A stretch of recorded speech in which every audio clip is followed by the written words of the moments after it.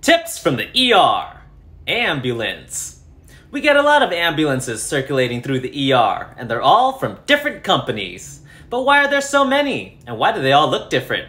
Are they all responding to medical emergencies like highway accidents and heart attacks?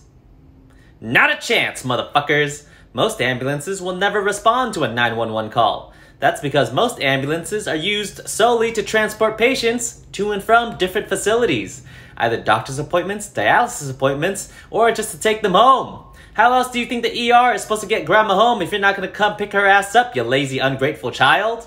We gotta call her a medical Uber, aka an ambulance. It could be one hell of an expensive ride home, so let's hope insurance covers it. Because if there's one thing we know for sure, our healthcare system is not afraid to go after every last dime your crippled grandma has to pay for her medical bills.